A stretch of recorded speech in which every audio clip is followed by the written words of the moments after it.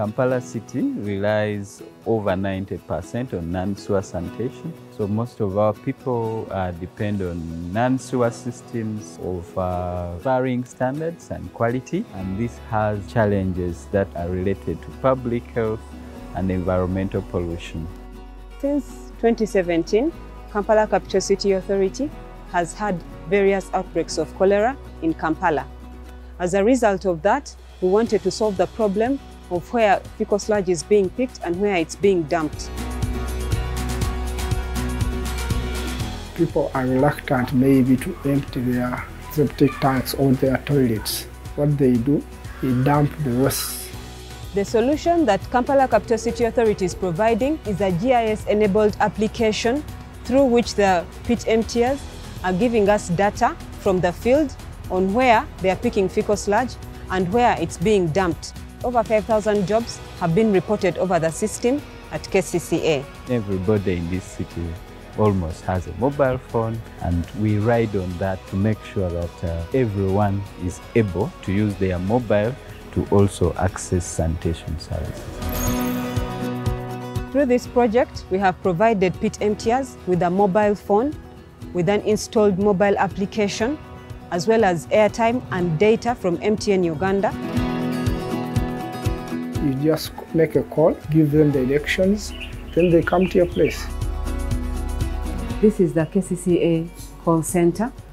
Through the call center, we're able to receive calls from customers in the field that would like a pit emptying job. For KCCA, it's important to regulate the quality of service delivery and also track the collection, transportation and disposal of this waste. Over 80% of the pit emptiers are using mobile money to pay for their dumping fees at the treatment plants. The grant from GSMA has helped us to break new grounds in sanitation service delivery. The GSMA funds have helped Kampala Capital City Authority to scale up the GIS application and as well as conduct ICT-enabled trainings with the pit emptiers to improve their business using ICT as well as roll out the application with the contact center.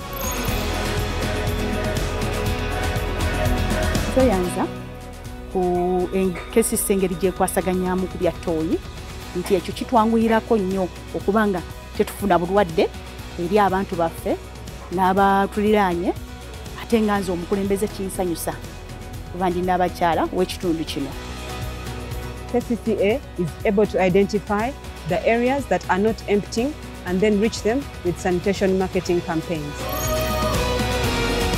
MTN benefits because KCCA handling waste management services means that it has a wider reach in all the homes. And MTN providing mobile financial services means that mobile money will be in every home where the KCCA entrepreneurs are providing this service. The future of this partnership between MTN Uganda and KCCA means that we will continue to handhold the entrepreneurs that are attached to waste management with KCCA.